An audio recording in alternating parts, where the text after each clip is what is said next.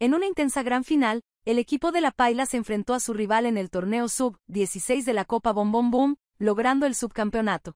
A pesar de la derrota, los jugadores celebraron su destacada actuación, un hito significativo en el desarrollo del fútbol en la región.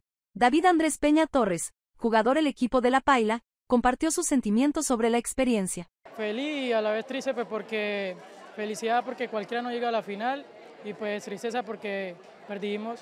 El partido, vibrante y lleno de emociones, culminó con un marcador de 2 a 1 a favor del equipo rival. Sin embargo, los jugadores de la Paila no se dejaron abatir por la derrota. David Andrés Peña Torres, una de las estrellas del equipo, destacó su experiencia al anotar un gol de penal que, aunque no fue suficiente para dar la vuelta al marcador, simbolizó el espíritu guerrero de su equipo.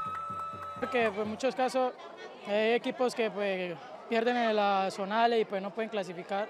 Pues nosotros estamos felices que pues, al menos lo podemos, podemos participar en ese torneo. Es un orgullo y pues para más adelante decir que pues, llegué a finales de la Bom Bom. La Copa Bom Bom no es solo un torneo, es una plataforma donde los sueños se forjan en cada pase, en cada gol y en cada jugada.